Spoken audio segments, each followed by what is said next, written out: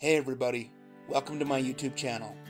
One of the best situation comedies of the 1990s was Frasier. And a big reason for that success?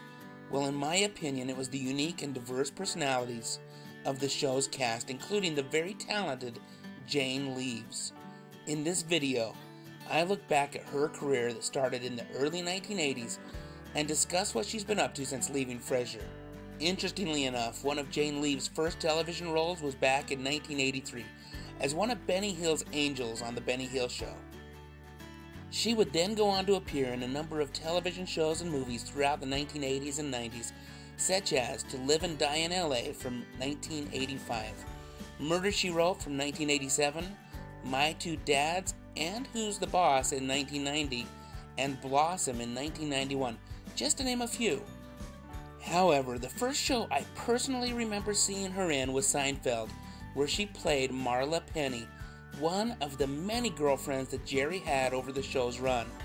While her character may have been named Marla, she was mostly referred to as the Virgin during the four episodes of Seinfeld that she appeared in between the years 1992 and 1998, including the final episode, aptly titled The Finale. Then, in 1993, she was cast in Frasier in the role of Daphne Moon, an immigrant from England who has been hired by Frasier to be a live in housekeeper and physical therapist for his father, Martin. The role would be the breakout role that would make Leeves a household name. She was such a great addition to the cast of the show. The relationship she had with the Crane family was so much fun to watch, including the relationship she had with Frasier's brother, Niles, which ultimately culminated with their getting married at the beginning of the 10th season. Now, Frasier would run for a total of 11 seasons before signing off. Now, you might think that after starring in a show that just ran for 11 years, you might be looking to take a break. But Leeves? Well, she stayed fairly busy. She would go on to be part of the cast of the TV Land original production Hot in Cleveland for six seasons alongside Valerie Bertinelli, Wendie Malick, and Betty White. She has also used her vocal talents in a number of animated films and TV shows, such as Disney's Hercules, Phineas and Ferb, Garfield A Tale of Two Kitties, Lego Star Wars, We Bare Bears, and Mickey and the Roadster Racers. In 2018, Leeves joined the cast of Fox Television's The Resident, where she plays Dr. Kit Voss, the head of orthopedic surgery at Chastain Park Memorial Hospital.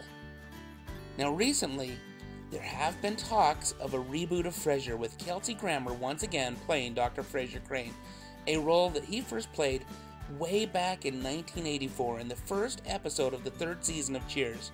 Now, if that happens, I would sure hope that Jane Leeves and David Hyde Pierce would be involved as well. Here's one last look at Jane Leeves as Daphne Moon from Frasier, or Maybe it won't be the last time we see Miss Leeves in that role. I sure hope not. What are your thoughts? Have you watched any of the shows that Jane's been part of since Frasier ended back in 2004? And had you heard the rumors of the reboot of Frasier? And if so, do you think she'd be a part of it? I look forward to reading your comments. Also, if you haven't yet done so, I would greatly appreciate it if you would consider subscribing to my channel, where I talk about movies, music, and TV shows, mostly from the 70s, 80s, and 90s. Thank you so much for watching. Stay safe out there, and have a great day.